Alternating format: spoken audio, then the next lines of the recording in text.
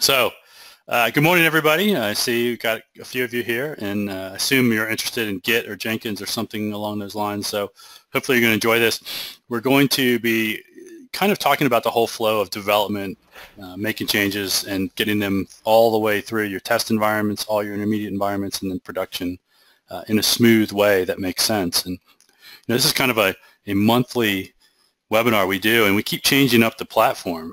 I think you know Grant, we've done what Subversion and Git and TFS. Have we have I done any others? I thought there was one more, but yeah, I remember those three. Done those three. But yeah, it's it's been a little different every time. Yeah, you know, and when we do Jenkins and this today, and we've done TFS build, and we've done uh, Teamcity, and uh, I don't know if we did Bamboo or not, but you know, the idea is that really this whole process is not technology dependent. You can do however you want. So we'll uh, we, we'll keep doing them, and we'll keep changing up uh, different combinations of, of products so you can see how it all works, and, and hopefully uh, give it a try. So I am Steve Jones, and I run SQL Server Central as my primary job, and I've been doing that for uh, 15 years now. it's just crazy. And uh, but I've been working with SQL Server since 1991, so 25 years of SQL Server. I've been working with all the different versions, big companies, small companies, consulting, full-time employee, developer, admin, you know, kind of all across the board with the product. All my contact information is up here. Please feel free if you want to get a hold of me and, uh, you know, ask questions or comments or something else. And then we have Grant on the line. Grant's going to help host today. Grant, you want to tell them about yourself? Sure. Uh, my name is Grant Fritchey. I work for Redgate Software. I've been I've been there for now um, coming up on six years. I'm pretty excited about that.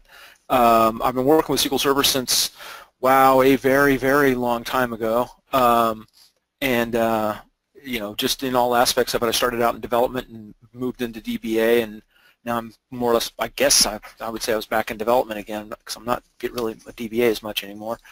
But regardless, uh, I'm pretty excited about it. And that is my contact information. If you've got questions on this topic or any other after today, um, please get in touch. I, I will respond to my emails, I promise. Excellent. So our agenda is, is really quick. I want to go through some of these things pretty quickly and then really get you get to the demo and let you guys ask questions, comments, that kind of thing. We are recording this whole thing, uh, including all of our nonsense at the beginning, which I assume somebody will cut out of there. But um, you know, if you need to go back and look at it, or you have to leave early, they'll be there. There are uh, there is a question item in the little control panel from GoToWebinar, so please feel free to ask questions in there. Either Grant will uh, take care of them, you know, during during the demo, or I'll you know answer them online, or you know we'll get them posted either way. So uh, let's go forward. So who is Redgate? Uh, you know, we we have lots of customers, a lot of high customers. Grant, do you want to run that first poll while we're well, I'll just chat for a minute. Sure. So, so we'd like to know, you know, how many of you use our products. Really, you know, I assume most of you do, or some of you do. Now, Redgate, you know, we the philosophy really for us is that we work with SQL Server and .NET, and we try to make it easier for you to build software, right? So we have these ingeniously simple tools that are designed to help you be more efficient in building software. Uh, in addition, Redgate supports the community. They support, they run SimpleTalk, and then they purchase SQL Server Central. So you know, we are uh, part of the community and, and Redgate's happy to invest in the community because not only do we want you to buy our tools, but we want just the community overall to be better. You know, we, we really believe in that. So somebody says, great, Alberta, thank you very much. We appreciate the compliments. We, we do try and we love getting feedback from you. And so if you see us at a SQL Saturday, at the PASS Summit next week, anywhere else, please give us feedback. Let us know what you love, what you don't love, what we can do better, what you want to see. Uh, we, we like that kind of stuff. Right, and so of the people who voted, here's the results. Um, so it's, it's you know pretty good distribution across the tools. Nice, nice. That's good to hear. I'm glad I'm seeing more and more people use multiple tools, which I think is great. All right, so let's move on. So one of the ideas that I think uh, throughout my career, you know, and, maybe Grant sees it as well, is that you know we realize that building software it's it's hard, it's not hard, but it's certainly complex and it's been problematic over the years, you know, and, and I think over time we've gotten better and better about trying to build and deploy software in a way that just is smoother for our clients so that we can deploy when we need to, uh, things work correctly, we respond to clients quickly, you know, and whether you're using Agile or Scrum or, you know, whatever methodology you're trying to use to build software, you want some sort of application lifecycle process, right? It doesn't need to be big and heavyweight, but you want something there. But databases are hard. And in all the work that I've done in DevOps and continuous integration, continuous delivery over the years, the database has always been the problem because of state, because I can't get rid of data.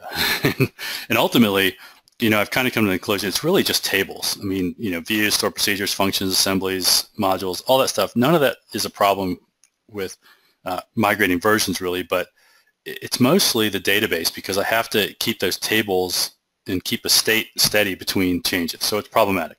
Okay? When we don't do that or when we're trying to deal with all the issues, we have all these problems that you see up there, you know, that the database is either uh, has to move first or it's too slow to move and it's, and it's, impacting our ability to make changes to the application.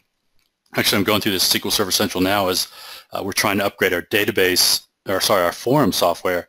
Uh, there's some challenges in the database of trying to make sure that all this data moves correctly, you know, and trying to track back the changes over the years or, you know, as we've done test migrations, trying to go backwards is almost impossible because as we move that data and we transform it, uh, the reverse transformations are not simple. And so uh, the result is most of us, or at least most people I've known in the past, have been nervous and scared about doing releases, doing deployments to their environments. And so uh, we don't do it, and it's always a big deal. It's stressful. It's problematic.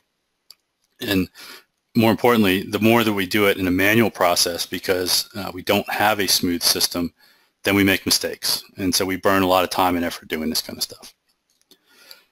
If you go to what we call DLM, a database lifecycle management philosophy, what we really want to do is we want to give you repeatability and reliability so that you know what it takes to do a release, what kinds of things might cause problems. Uh, you're more efficient. It, it, comes down to really a push button type of deployment. And more importantly, you can go faster, not in terms of releases. I don't expect you to release every day or every week, but that you can release when you want to release. So if, if somebody comes to you and says, we have a bug, we need to release on Friday, we can run development through a process, we can test our systems, we can get it deployed to intermediate environments like QA or test or user acceptance or beta or something else, and then get it to production when we want to. And it really comes about by uh, putting a process in place that isn't, the technology side isn't too heavyweight, it's more a people process change that we have to do. And that is complex and it takes time, but uh, we can do it. Now, the State of DevOps reports, uh, I've been doing these webinars, I think, for two years now, and, and I've read, I think, four of these reports over the years, and they all come to similar things that, you know, if you build a DevOps process, which really means that developers and QA and operations and architects and clients all kind of work together and all have visibility in the process, you're more agile, you're more flexible, you can deploy code when you want to. You can deploy code faster, which really comes down to from the time a client requests something till the time they see it in an application, you shrink that time so that you get better feedback, quicker feedback, and then developers can work on the things that are truly efficient. And you tend to be able to run your organization at, a more profitable level just because you're not wasting time and you can respond to whatever you need to respond to uh, in your organization. All right, so how does Redgate help? Really, what we try to do is, is plug into your development process and help you build software. So at the top, as we go from left to right across top, this is you as a developer, you as a DBA, you as the operation person, you as the manager. Uh, you're a part of this process. So developers are on the left. They uh, write code, obviously against their own databases or a shared database, however you want to work. We, we store that in a version control system so that just so that we have keep track of it. We know what changes are made by which people in which order, and we just are aware of all these changes. Uh, then we use automation. So we use continuous integration. We use release management to uh, get these changes moving all the way to production. And I think, yeah, I have this. So Redgate plugs into this process in multiple places. So in the developer, obviously in your desktop, we have prompt, we have test, we have source control, uh, we have data generator, we have other products here that plug into Visual Studio or Management Studio. Try to make your development process easier. We plug in two version control systems. So SQL Source Control is a horrible name because it is not a source control system. Uh, it really is a plugin that makes it easier for you to use TFS or Git or Subversion or Vault or Perforce or Mercurial or CVS or uh, SourceSafe or anything you want to do. We'll plug into any source control system and store your code there. And we do it in that we store the create statements so that we always kind of have a full view of what the code looks like at this point in time. We could store the alter statements, which, uh, you know, it's philosophically, it's just a different way of doing things. But one of the problems I've had when I do the alter statements is that if I look at a table and I see an alter, I have to go back through versions to figure out what all the other versions of the table were, or um, you know, have to look through a bunch of comments, and it's just slightly more cumbersome. Uh, so we made the philosophical decision to just store all the create statements in your version control system, so that's how you see it. Let's um, check on that. How many people are using version control? oh, yeah, yeah, please. Yeah, let's run a poll and see. So let us know what version control systems you use. Uh, they, they all work well. I like Git, and that's really because I'm offline a lot. I'm traveling, I'm on planes, I'm different places, and so Git means that the the repo I have here on my desktop, the repo on my laptop, actually I have two laptops, I can keep them all in sync easier with Git. Uh, I can still make commits and get things done offline. Uh, Mercurial works the same way. When I have TFS or SVN or uh, Subversion, I have to be online to connect to a server, so that's you know kind of a pain. Know about Grant. Do you have a preference? Do you care? I, I kind of don't care. I actually like Git a lot. I've, I've gotten more and more used to it, uh, you know, in the last year or so, um, and, and uh, I, I, appreciate what it does. Um, I, I, like its foundation on the concept of branching as just a fundamental aspect of, of source control. Yeah. Um, I think that works better in a lot of ways. Yeah. Uh, let me close this out. Close it out and see. I got to tell you, I really love TFS with Git as the interface, though. You know, I use that a lot. Yeah. All right, so oh, my screen is. So only eight percent are saying they didn't use it at all. So, so we're good. doing good. Good job, guys. Please, right. Every, pass the word. Everybody needs to use version control. all right. Uh, once we're in version control, we use continuous integration. And continuous integration really is just, it's kind of a backstop or a check for us as the developers that it automatically runs the test. It automatically makes sure the software compiles because as much as I'm sure all of you are talented developers, you cannot imagine how many times that I myself or other people I've worked with have compiled something, had it working great, and then you make one more change and then you commit it, right? You think I'm going to add a comment, I'm going to do something small, I'm going to reformat, and you break code. So with continuous integration, the idea is that we very quickly build your changes with everybody else's changes, and we tell you right away if there's a problem, if you've broken something. And at Redgate, we use uh, a SQL release product or DLM automation product, I guess, that just plugs into any of your build servers, TFS, TeamCity, Jenkins, Bamboo, Cruise Control, Go, Hudson. Uh, uh, there's probably others out there. We, will really plug in anything because we can run off of the command line with PowerShell. So we can plug in anywhere. And then uh, one of the keys of continuous integration is have a testing. So please, please, please learn how to test your software. Um, not, I don't want to belabor that point though. And then what do we do? we want to release this stuff. And so I've released software in many different ways over the years. As I've been working more with release management in TFS, release management, or Octopus Deploy, I find it really makes my life simpler because uh, it is slightly cumbersome to set up because I have to stop and think about all the steps that I perform. But once it's running, man, it makes it so easy for me to release software. And I'll actually show you today, we'll release software uh, from development to testing to staging to production very quickly. And then I don't want to forget that once you release your software, you have to instrument it metric. You have to monitor it. Uh, Redgate, we have SQL Monitor and DLM Dashboard and SQL Backup. But however you do it, you have to monitor and determine whether things are working or not working, whether they're being used, uh, how they're performing, and then feed that information back to developers so that they can kind of go left to right through this process as quickly as possible. Or, at whatever speed that is for you. If that's making changes every week, if it's making changes every day or once a year, we want you to be able to move at your speed with confidence. All right. Uh, don't worry about that. So let's do let's demo this stuff. So let me find my VM. All right, looks like that's up. Let me find my mouse. and let me zoom in slightly. So I've got this set of databases up here that I'm going to work with today.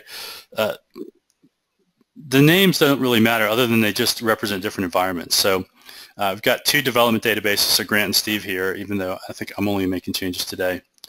We have an integration environment where we actually would pull all those changes together, and typically these would be separate instances. So Grant would have his database on his laptop where he could work. I would have mine on mine, so I would be separate. And then from version control, we would kind of get all of that code together and merge it into that integration database. And, and I'll show you how we do that in the automated process. And then from integration, we want to be able to release to testing anytime. So QA can just pull a version of code to testing any point. Then we release to acceptance and production as needed. We could release to uh, UAT as well, which I don't think I've set up here, but um, the flow will kind of be uh, dev Steve to integration to testing to acceptance to production um, in that flow. The fact that these are all in one instance doesn't matter. It's just because it makes my life simple to demo this thing rather than trying to remember which VM I'm working on. So uh, in Dev Steve, I've got you know tables, I've got views, I got all kinds of stuff here. So let me make a change. So you know I'm more of a, a command line guy. So let me alter a table. What tables do I have here? Uh, I don't want to break something too badly here. Well, I'll just pick blogs. And I'll say I'm going to add uh, Tuesday, which is an int, right? Because I'm bored and that's a good change. I don't know why we're making that change, but it's good. Um, and we'll get Tuesday.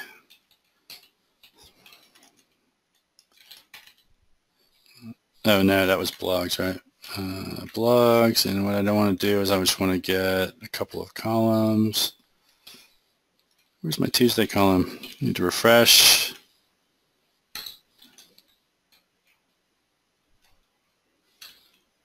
There it is.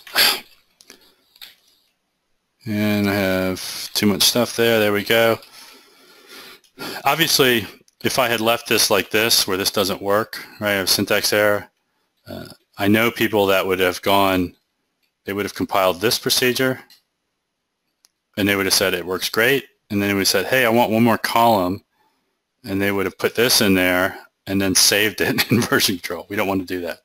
Right? We want to make sure that all of our code works. So once I'm sure that all my code works, and I'm testing it. One of the things that we do is you'll notice that I have this kind of green shade on here and a little blue ball. This green shade, which you also see down at the bottom here, means that I've linked this database to version control with SQL source control from Redgate. And all that means is that I have the ability to take my changes from this database and put them into my Git repository. These little blue blobs just let me know that I've actually made changes. And if I expand these, what we'll see is that let me come up here. That blogs table that I altered is the one that has the blob on it. So I know what changes are made. And then down here, uh, the new, oops, I think I need to refresh this, right? It knows there's a change. That new proc I make is right here obviously it's built on SSMS, so I have to, you know, work within the constraints of what's there, which means I do need to refresh things automatically. But SQL source control has actually got a process running in the back that's checking to see what's changed. In this case, here's my plugin. If I go to the setup tab, so you can see this is actually going to this path, which is a Git folder, Git repository here. I've linked this in there you know, I, I, can do get latest, I can pull, I can do all the stuff that I might do. But in this case, uh, I've got two changes. And so let's make this a little larger. I've got that change to a table, and then I've got the stored procedure change. And the table change, the standard source control thing on the left, I see what is in the database here. And then on the right, what's in source control. And of course, that column doesn't exist. And then same thing for the store procedure. So let me commit this. New changes. And these are going to commit. For those of you that have worked with Git, uh, I commit things, but they're not everywhere because I have to push them out. And so without leaving Management Studio, I can just push these things out. One note, and I left this up here, uh, I'm pushing all commits because this is doing a Git push. So if I've committed from Visual Studio or you know PyCharm or Eclipse or any some other IDE, uh, into this Git repository, it's pushing everything. It's not pushing database changes because it's just pushing anything that's staged. So just be aware of that. So let's push those things out there and they'll make those changes. That folder, let me grab this, is just a folder on my Explorer. And if I were to look in here, I just see the normal stuff that I would see. And if I look at this code, I have a create table statement. Zoom in slightly. And that column has been added to it. And that's this is just scripting out as you would normally script out from SQL Compare if you're using that, or uh, the SMO interface, which wouldn't necessarily get all of this stuff, but uh, you know, it's just a normal scripting out of this code. Same thing for store procedures, you know, for functions, for other stuff. These are just .SQL files. There's nothing magic about any of these files. All right, so I put changes in there. Ideally, I should have pulled from my repository just to see if there's anything there. There's nothing there, so I haven't broken the world. So now I've taken code that I've written, I've put it into version control. What's the next step? We want to go to continuous integration. In this case, I actually have a Jenkins build. This is Jenkins that's set up for my project that's actually running right now. If I look over here, we can see that uh, we're running a new build right here. And uh, this build is, you know, it's got all of the stuff that's going on in here for my particular project. So if I were to uh, go in here and look at how this is done, you'll see I've got uh, my history down the left. So I've got all my builds in Jenkins. This is a free product. Jenkins is a free open source product, by the way, so uh, the interface is not so polished, but it does work. Um, I've got my source code system here, so uh, I'm using Git, right? Here's my repository. This is the actually the remote that I push to here. So I configure that in, in here. And then what I have is a few items that uh, uh, are specific to Redgate. We've got these plugins. So in this case, the first thing I'm doing is I'm doing a build. And a build is a really low bar. But what it is taking is all of the database code uh, from my VCS root, actually in these subfolders, and it's going to recompile it onto a SQL server. In this case, it's compiling it into LocalDB. You know, I could use a, a, normal SQL server here, a development server, but in this case, I'm just using LocalDB on this Jenkins instance. And that, uh, you know, it's just a little bit lighter weight and it's smoothly, okay? Uh, I build a package which allows me to save the state of version control because as I move on to other environments, I don't want to go back to version control because version control will have changed. So I kind of have a snapshot of what things look like right here.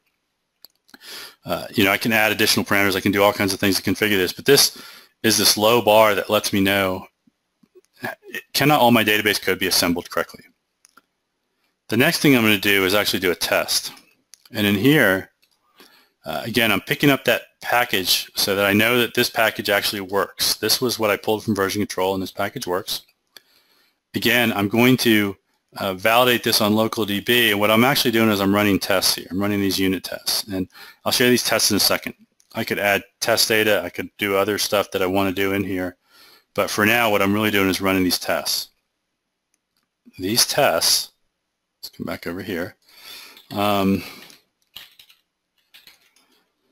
and I've got, I think it was unit tests, are just, it's a call here. I've got one test in this database right now that's being run from the tSQLt framework. If you noticed when I showed you these objects, I had all these tSQLt objects here. And when I come down to, whoops, down here, I have all these items in my procedures as well. tSQLt is a testing framework just like XUnit or JUnit, excuse me, or NUnit, and it really is just a framework that allows you to test code. And so my test is right now a store procedure. And all this is doing is, if I come in here, is it's it's putting some data in a table. It's calling a store procedure, and then it's trying to determine did the results that from the store procedure match this value. That's all we're trying to do. It's a very simple test. Uh, it's a little bit too simple, you know, to, to showcase things, but hopefully you understand it. Uh, the idea is that I can just write all these tests, and I can write other tests. So if I want to write more tests, I can write them and run them here. And I'll show you some a little more of that in a minute. After I run that test, so I run this build, it's highlighted slightly with Jenkins. Then I run my tests here. If those pass, the next thing I do is I publish a package out to my Octopus deploy server. And this is publishing a change out to a server that will actually release to an integration system. In this case, I'm calling the Octo exe. I'm going to create a release and then I'm going to do a deployment to this environment. And this is just a command line call to the Octopus deploy server. Now I could I could run this. I've run this in TFS. I've run this in uh, Bamboo. I've run this in Team City. I could run it any number of ways, but I'm running it here. Hey Grant, why don't we run the CI I was poll? just ready to interrupt you for that. Okay. So we've got a poll up on uh, if you guys use CI or not. Um, back in the day, we rolled our own CI server. That was a bear. Yeah. yeah, we never really rolled a. CI server, but we did roll a package process that uh, you know we used to release to both test and staging and production. And so I wish we Yeah, had I mean, it, server, you know. I wish we'd had one too. but we, you know, we get to the point where we could do our we could do testing locally before it ever went out to QA or anyplace else. So, so we, you know, we we started doing DevOps very early on um, at my last job. So we're strong believers in it. Yeah, and yeah. it's, um, it, it's such a huge it's such a huge win to be able to automate the builds, automate the tests. Yeah, I, I mean, if, you, if you're an app developer, right, and you're not doing CI, it's crazy. I mean, absolutely, Yeah. in Visual Studio or Eclipse or whatever, you should be, even if you don't want to implement a CI server, you should have some process that can pull everything from source control and run MS Build from the command line and make sure that everything works correctly. Interestingly enough, everyone who voted actually already has the CI process running. That's a first for me. I'm used to seeing half the room not having CI. This is great. Yeah. So uh, I assume most of you are doing it for applications and maybe for databases, but so I won't really belabor the point. But the whole idea, right? We want the CI running, and we, we're treating this database just like our uh, our application code. I'm gonna leave this page because I don't really care. And so as I run, let me come back over here. I can see all my builds, and so you can see as I've run different builds the last few days practicing. Uh, there was a point where in July I blew up some builds you know, I've been slowly going through this process, uh, and this is all database builds. All these items on the left are the database builds. So I did that release. Let me come over here. That release actually was this 0.28 release to integration, uh, and this was performed just a few minutes ago. And so if I were to actually look at this, this actually occurred. Um, started seven minutes ago, ran for 28 seconds here's the process that it went through and it deployed successfully, right? Everything's green. I'm going to go ahead and promote this to testing while I'm here just because I can. And so when I look through here, you can see I'm now releasing. You can see in the past I've released these other versions out. 27 I did this morning um, did not get released beyond testing. It only released there. But I don't have to release this all the way. I can skip 27 and just push 28 in. Now, I did, I added a store procedure here. We added this get uh, Tuesday procedure here, and we changed this blogs. That appeared in my integration database. So if I were to look at this blogs table here, here's the column I added.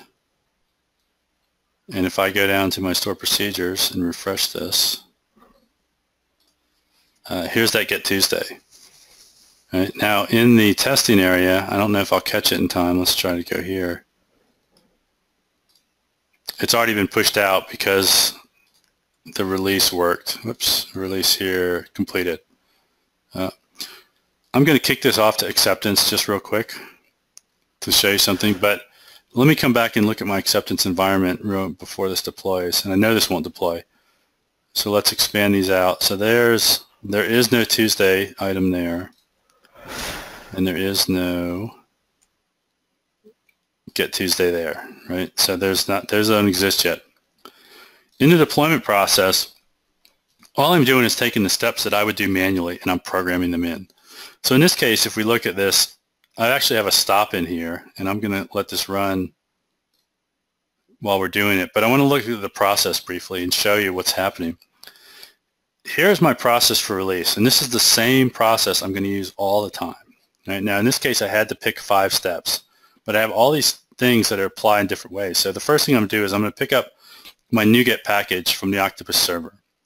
This was the NuGet package that was shot out from Jenkins. So Jenkins, uh, stay on this page. When we went down here to this, um, this uh, publish, here's my NuGet feed. This is for the Octopus server itself. And then what I did was I picked up a package. I used the build number from here, and I there's the server, and then it pushes out this package. And if I go over um, here, let's zoom in. gotta remember to click. This is that package that was produced in the build artifact that is I'm using. So in, in the .NET world, and I was doing this in Visual Studio, this would have been my uh, exe and DLL and resource files and everything that I had packaged up to release for my application. In the Java world, it would have been, you know, my jar files and my configuration items in there. But I, but they all get pushed out to this server. And then you'll notice what I do in my build is uh, I run a refresh from production only in acceptance. So in that environment, I just was I just started the release to before we looked at this. Uh, I'm actually going to refresh from production so that I'm sure that my release is going to work correctly. So even though at this point I've released the integration and testing, I, I want a real check against production in case production has changed or there's some issue. So this is my final check, and I only do it in this one environment. I create a release, and this gives me an artifact that tells me what's the upgrade script, what's going to happen, and I can review this. Excuse me. In acceptance only, I had that manual review. And I, and I didn't spend time on it right there, but uh, it did ask me to approve the process. And I can set this up to notify somebody, uh, have them review scripts, make a stamp that says I approve this change. I could have multiple people approve this. Uh, you know, it's, it's really configurable to however you want it to work. And then finally, I just run my release process, which really is going to execute my script. And this is something I do. And it doesn't matter whether I'm doing it in TFS or Bamboo or here in Octopus Deploy, I make a similar process. And each one of these steps, I configure it to work exactly as I wanted to work. If I needed to step in here to say uh, disable replication for production and then enable replication at the bottom, I would add those steps and I would say run these in production. So I, ha I have the ability to kind of configure this however I want to. That process completed successfully. Again, if I were to look at this, you know, I could go through and get the logs of, of everything that happened. For example, if I go through here, each one of these items is, you know, uh, expandable or collapsible. So I can see at the various steps what happened at each area. You know, so my refresh from production is uh, backup database and restore database.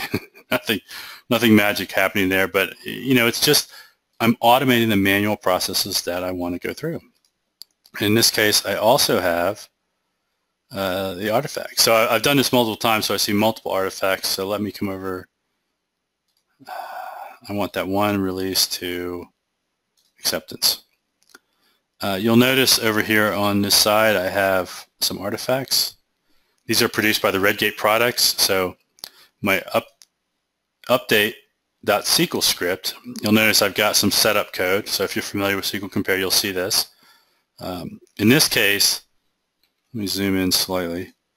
This change was that .27 release. I dropped the test procedure that was there. Here's the alter to add my code. Uh, here's creation. It's right below here where I'm going to do a create procedure and create that code. And then in wrapping all of this in the ways that SQL Compare does, because I touch blogs, it's going to refresh my view. Uh, it's going to close out the transaction, either roll it back or commit it, but set it forward. So as a DBA or as a sysadmin, I have the ability to review this. Uh, if I want to send this to project managers or somebody for reporting, we also produce this lovely report on the um, in, in HTML. So you can see I, have added a few procedures. So there's a procedure that I've added. I've removed a proc. I've modified blogs so I can see what the minus and plus is happening here. Uh, this really is just uh, an easier way to review what's going on. So for people that aren't necessarily sysadmins just want to know what changes are coming. So I might shoot this to developers so that they know what is actually being released or architects. I might shoot it to clients so they know what's changing. They have the ability to see what's happening. But of course, if they want to see the script, we can actually look at the whole script for the people that uh, really care about the details of the code. They can actually see what's happening here. And whether you're doing .NET code or database code, this is really how you want this process to work. You want it to be smooth and simple. And if I'm happy to it, I can, of course, promote it to production. All right. Uh, should we see who's using release software, release management software, Grant? Absolutely. While I get my Got coffee. that queued up.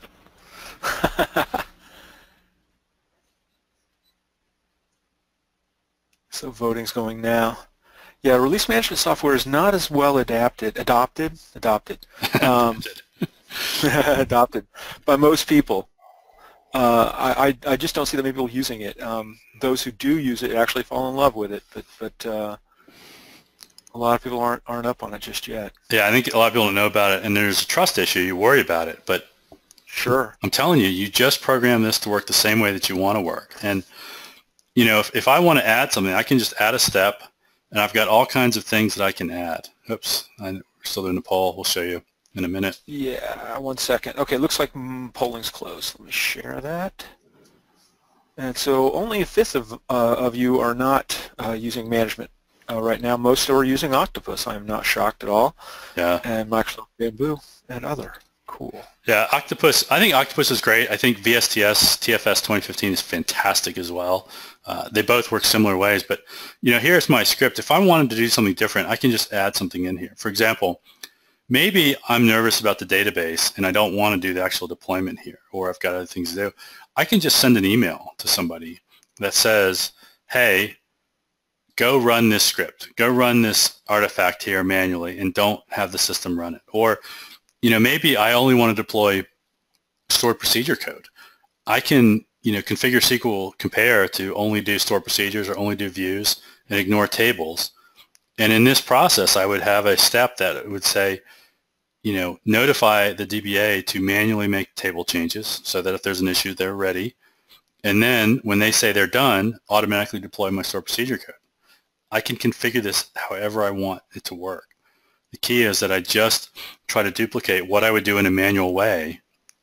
I program program it so that I'm confident it's done the same way every time. Because I'm sure all of you at some point have made a change that uh, you, you, know you didn't do it correctly. You forgot a step. You added a step. Something broke. What we're trying to do is is smooth out this entire process. And certainly, I could stop here. You know, at this point, I've deployed to production, but I could have stopped in acceptance I could have just picked up this update SQL and then manually executed this in production because I'm more comfortable with that.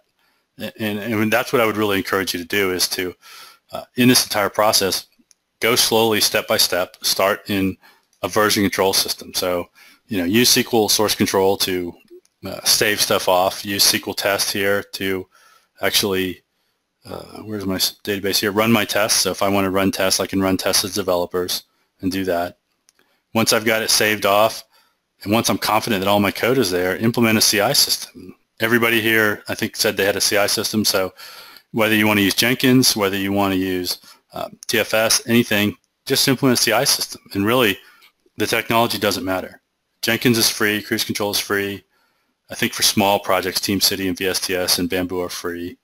Uh, you know, pick whatever you want, and then set up your release process. Even if you only release the test environments for QA, do that. Once you're confident with it, you're comfortable with it, then you can start to move on to further environments and make things work. All right, any questions? Anybody want to see anything else? I don't see a lot popping up. People. We have not seen a single question come by yet. So either I did a great job or nobody's paying attention, but that's all right. oh, wait, and of course, here they come. All right. All right. A very specific question. We already use DLM automation uh, one license on our build server which houses TFS. We want to use Octopus for deploys and are confused with Redgate licensing. According to Redgate sales, David Cook, in order to use Octopus with a DLM automation for deploys, we can install the DLM automation component on a single release management tentacle and license it with no issue. All right, that sounds so, like we need it on each tentacle. Yeah, so I'm not a I'm not a I'm not a sales guy, and that Grant isn't either. yeah, but uh, my understanding is that any place the DLM automation runs, you need a license. So if it is on a tentacle running, you need a license there. You know, depending on how you structure your environment, you know, it'll depend on every license you need. And because we're licensing DLM automation as part of the tool belt, you know, if you have five developers and you have five DLM licenses to be on five different instances. So I could have one on a CI build server, on a test server, and on a production server, right? And I could have tentacles on each one of those I don't have to, you know, the way that the tentacles work or the way that we build servers typically work is that um, there is a central server that runs things, but I don't necessarily have to install things there because I can put an agent of some sort on another system. So, um, you know, you could have a system that has SQL on it where your data, your builds will occur even though your CI server is separate, and so you would only need a license for that agent system or that tentacle system. But uh, I'm not really a licensing guy, so um, take that with a grain of salt. that's that's my understanding. Grant, is, does that sound right to you? Is that? It sounds right. I, am again. I'm I'm I'm punting on that one just because I, I really don't know licensing. It it I, am you know yeah probably got to learn that at some point. Yeah. I keep learning technical stuff. I don't know why. Uh, so we have another question. How are SSIS packages handled within DLM? Okay, so how do you deploy SSIS packages now? Uh, you probably don't do this. You probably don't use dtutil. But ultimately, whatever you're doing has a command line underneath it. Either it's it's a PowerShell command line or it's you're going to use dtutil or something else to deploy your packages. Right? If you're only comfortable doing it with an SSDT and, and picking publish, then uh, what you really want to do is figure out how you deploy those packages now. Okay, and so this case, you dtutil will work. And so in the build, what I can do is I could add another step in here. And um, what I could do is add a Windows batch command, right? Now, now I wouldn't do it necessarily in my database. I might have something else. But I might have a dtutil call here that is slash source. I do a slash v to verify. I can do whatever I want to do here. And maybe I have uh, testing steps that I add around this that would run the package and verify row counts or whatever I want to do. Okay, uh, I'm not going to do this because I'm going to blow something up. So in the in the CI system, I would just do whatever I want to do to do that deployment. And then the same thing in my process here. Whoops, my process here is that I would add a step that said, uh, you know, I am going to do a deployment. I don't know that they have a I don't know if they have an SSIS component here. They have a script, and now we do the same thing here, is that I would um, program the deployment for SSIS like I would do anything else. And, and I would just pick a step and put that in place. So whatever you're doing manually, you have to figure out how I would do this manually if I did not have the tool interface and then program that into your system. Hopefully that makes sense to you. Uh, what else do we have? All right, we've got, uh, let's see, um, we talked about process, let's see, Nikki says, we talk a lot about process and automation, and Octopus is a big part of that. Which parts of this process were managed by DLM, and how does it integrate with some homegrown deploy processes? Uh, so what's managed by DLM? So uh, in this case, so in, let me go back to Jenkins real quick, and we'll look at that. So in the in the CI process, what is managed is pulling all code from version control, executing it in a database, and then building the upgrade script uh, as part of the release process. And the release process, in this case, it bleeds in Octopus deploy. So when I do this create release in the Octo server call, what that is actually going to do is execute this process. And so in my integration environment, I'm going to get the NuGet package, which uh, will have been sent in from Jenkins. I will create the release. This is DLM. And then I will deploy the release. If you have a homegrown deploy process, it just, it, I mean, it's, it's such an open-ended thing. It's hard to say what I'm doing here because if I could certainly stop at any point in time. And let me just let me just release something else real quick while I got a second. Um, oh, let me change this proc because I knew that. Uh, so I can show you that. And let's say I don't want the count of, I don't want this, I want author ID. So we'll commit this. I need to be in the right database because I committed it somewhere else. Here. Changes, please don't use comments like this. It's a horrible idea. We'll push it and we'll have it go. So you could implement this process, right? So I'm making changes, I'm using the plugin, it is grabbing my changes and is committing them over here, and then my Jenkins build will run. So let's leave. I don't know why it thinks I've changed something every time. Uh, so we'll see a build come out in here. Once this build occurs, we'll actually see a package appear in here as well. So uh, it's pending. In four seconds, it kicks off. There's my build. It's going to run. So at, at, any point in time, right, like I could stop. Let me zoom in so I can draw. I could just do this part and stop. And then from this point forward, I could manually execute everything as part of my deployment process. Uh, I could, you know, go this far and then say, you know, I've got I've got a an exe. Let's see if I can do this without embarrassing myself too badly. And I've got a DB. And these things I'm going to execute manually or I'm going to send into some homegrown process. You know, uh, I can integrate however I want. I just need to understand what I'm doing at each step of my process. And in terms of my manual process or your homegrown deploy process now, you'd have to just decide what do I need as inputs to that process uh, or what do I want to automate or not automate there and then how do I want to change that over time? And that's really where you stand. And my build's still running. It's a little slow today. While that's running. Yeah, while that's running, what else? The next, the next question is, um, are we able to use DLM automation with SQL Azure? Uh, we have tried to use Visual Studio Online to do release management side and have had con connectivity issues. However, it seems to be, however, doing it as part of the build worked fine. Yeah, so um, you can. You can. I've done it, but um, you know, connectivity is funny in Azure because uh, not only do you have just the can I get there or not, is, is my is is my VM or is my SQL Azure database alive, and and it is flaky at times where it uh, you know it goes up and down. Um, see if this refreshes. I mean, we need to refresh. Yeah, I've, I've seen connectivity issues occasionally, um, but most of the time it just works. I mean, it, it luckily enough, I mean, it, it's largely just you're connecting up to a database, you're making the same kind of yeah. Um, so the weirdness, though, I think before, so. organizations is that uh, the firewalling is weird. So you might add your firewall, your IP in for your build server or yourself, but when you, if I, if if these were separate VMs, so if I was on uh, one server for Jenkins and one server for Octopus Deploy, I need to make both of those, uh, the, both those IPs or both that uh, items added to my firewall rules in Azure. So there can be, you know, some some weirdness there. Uh, so let me go back real quick. So here's here's the package. I changed that one store procedure. I could stop right here and I could email this file to a DBA and say, here is how we pop this into a homegrown deployment script.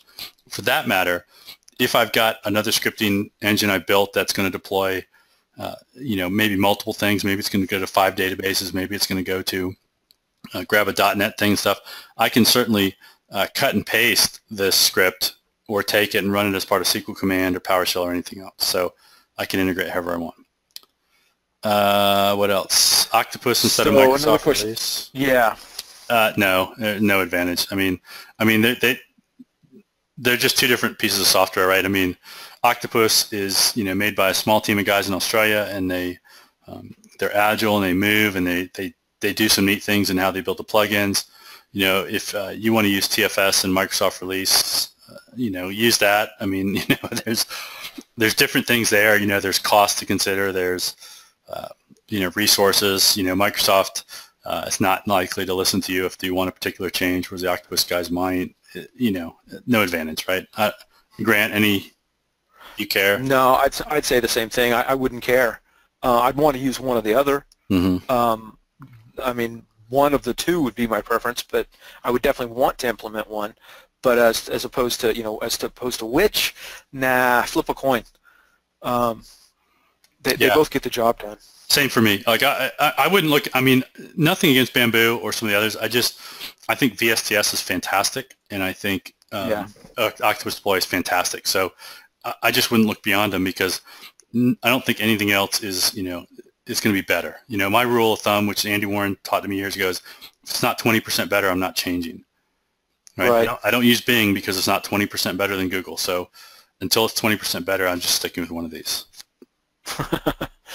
So right. the next one, uh, what's the best way to manage large data set changes? Now that's an interesting question. All right, so large changes. So let's assume, let's assume for the sake of argument that uh, I'll do two things here. So, so I've got this um, RSS feeds table, right? There's not much in here.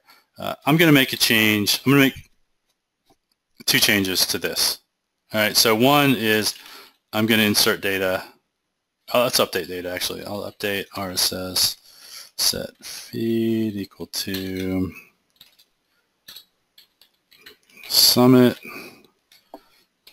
where feed ID is equal to 4. I don't know why I pick on 4. So I'm going to make a change there. So that's a data change because I see that's a question. So Ron, let's assume that instead of this having four rows, let's assume this table has 4 billion rows. So if I were to do uh, this, well, let's actually do alter column. So if I were to alter column, um, let's say feed burn, and I were to make this a varchar 200, right? This could potentially be really bad. if I go to production, this could be problematic, right? And maybe really what I have to do is, you know, maybe I need to create table pound temp. Oh, shoot. I'm just going to say this. Assume that that's a hash mark. I don't remember where the hash is on the UK keyboard. I think it's, is it here? No. Here? Ah, the hell with it. I don't know where it is, but just pretend this is a hash. Um, feeds, right? I'd say temp feeds with stuff in it, and then I'm insert temp feeds select star from RSS, right? I might have to do this kind of data manipulation change and then put this one last. And that could be extremely impactful to production because it's very time consuming and it's an issue. The only way that I've seen that this is handled well is that I'm going to commit my change because it was there. Yeah. Let me commit this data change. Imagine that I had a second line right here that said um, table change, right? And and we can do migration scripts and we could add that stuff in there. As a matter of fact, let me let me just push this out so that it runs. But, you know, I could have here and say, actually, let me make that change. Where was I? Um, alter table. Let's assume I did this, but this is a script I really want to run, right? Whoops. Ah, can't type. When I were to come in here and do this commit, I broke everything. What did I break there? I think I, uh, yeah. I don't think I, I think I, that bit to the thing is an invalid change. Let me undo that change. this is development, right? This is real development. This is how it works. I do something and I break it horribly. Uh, let's reverse this actually. Alter. Table, not Tom. Table. RSS alter column. Feed. I want burner. Let's make it a bit. This is how this is how development works for most of us right? We blow things up and then it works and everything's there. Oh so I made this change. All right so here I've got a not null change right changing from null to not null let's imagine that that is actually a very problematic change in my in my system, right? That it's going to take an hour or five hours to make this change because I've had those changes. What I could do is, as part of this migration script, is I could generate a script, and I could say this is this is a big deal, right? And so I'm going to say um, large table change to RSS feeds, and I could put other stuff in here. So I could put all the other code that I want in here and commit this. What I would do though is in my build process, when I was over here, I would have a test that looked for any alters against that table because I know that that table is going to cause issues in production. And I would fail the build on changes there only because I want visibility into that change. And then what I would do is I would kick off an extended review to say, does this script actually make sense? is this the best process for making this change? Because there's no magic to making large data changes. Okay, there's there's only a few ways you can do these in SQL Server, so you have to follow some process, right? I could I could insert all this data. I could make the change to the RSS feed. Then I could do a, a metadata switch and rename both tables. You know, I could batch updates. I could add a trigger with multiple columns that are moving data. I, I can do whatever I want, but the way that I do it manually is what I'm going to have to program in here. And I would fail the build because I would want multiple people to make the decision, is this acceptable? And if that's acceptable, what we would do is add an exception or remove that test briefly while we let the build run through, and then we would just continue with the process. Does that make sense, Grant? Did I? Yes. Okay. Absolutely. So in that other release, so I just we just did that build here. I'm just going to show you this package here. Um, here's my data change. Okay, that's in that update script. And if I were to look at the integration, because it's already been deployed to integration, um, where's integration? Um, that data change exists here, right? That just passed through just as part of my change. Okay. So uh, this is, I think, Nick, this was your question, manipulating seed data. So this is what I'm doing. This is seed data. This is, you know, it, it could be countries, it could be states, zip codes, could be statuses, could be whatever. Um, I'm just manipulating data in this way. All right, uh, other questions? Uh, did we get to the um, how do you manage changes that are not part of the data definition, like manipulating seed data? Yeah, I mean that's that's what I kind of just did here. I mean I can. Yeah, know, that's what I thought so. Yeah, if I shoot this out, it's it's still in this environment. It's still different, but if I deploy this, uh, in, a, in a minute we'll see that data change go through, and it should be fairly quickly. So uh, let me run this feature. Right, then that was our last question. Oh, okay, good. You guys are cool. pretty the audience, not uh, too concerned. Ron, hopefully I answered your question. Uh, the rest of you guys, uh, hopefully it made sense. And in a second, we'll see this come through, and I'll call it quits. come on, Octopus. So, I mean, it looks funny for, you know, there's a change go through, right? It looks funny to see me doing this really quickly because typically, you know, it's it's hours for us to make a change, right? I mean, the developer right. change, we have to throw it through. We want somebody manually to go test it perhaps in the application, right? I'm doing this stuff really quickly, so these delays seem long, but typically, you know, somebody would say, a QA guy would say, or QA girl would say, hey, I need this in test environments. And then client would say, hey, can you throw this in production? And so I would, I would click here and say, hey, let me test it real quick. This will take me half an hour, and then I'll deploy it to production. Um, right. And Alberto says this is very new for him. Um, you'll have to try it out. And Alberto, that's the one thing I would say is that uh, do try it out yourself. Um, start off with just the CI process, continuous integration. Um, that's relatively easy to set up, especially if you set up on a blank database. You get that working, and then you can start to expand. Yeah, so here's what I usually recommend, and Grant, tell me if you like this. I usually tell people, uh, download Git because there's so much information about their Git. It's simple, it's lightweight, it's smooth, it's easy to install. Okay, right. download Git, create a new database on your desktop with uh, one table in it, one column, one table, right? So where's my thing? So what I typically do is when I want to do a new system, a new proof of concept, um, create data database POC, not POS, POC, okay, and then use POC, and then uh, my table my ID int. This is what I create. Now, my job is to get this database from here to another SQL Server instance. And so what I do is I will uh, link this to source control. So here I would say, God, I've got to link this. So where's Git? Where's my folder?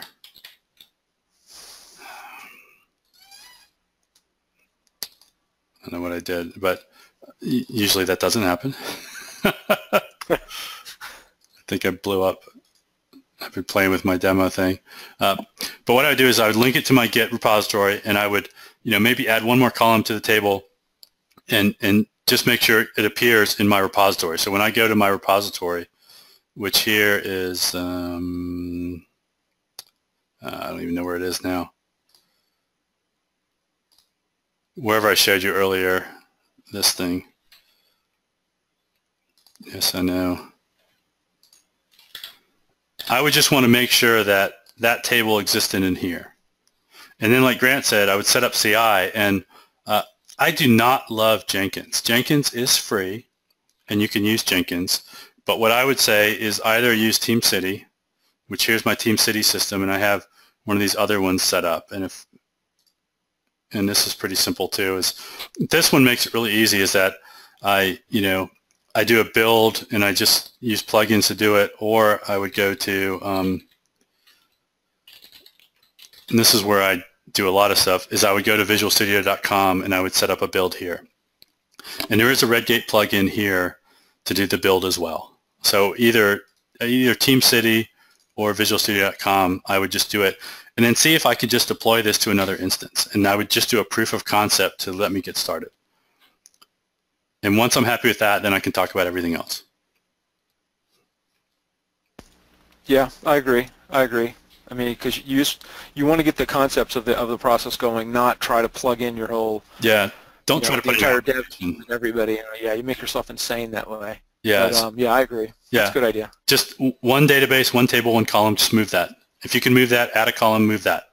And if you're happy, th- then you can start to go. All right, let me pick a small application or a test application, get other people involved, and see how it works. Um, it's getting late, so I want to close this down. Right.